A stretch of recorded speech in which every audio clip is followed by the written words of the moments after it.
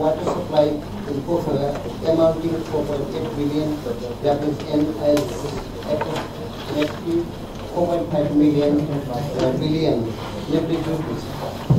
I told her that, we know that Pokhara, a futuristic city, has been facing sheer water supply problem.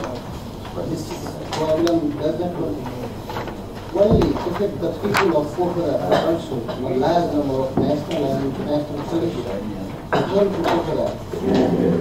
to solve this problem. That this government has actually to provide this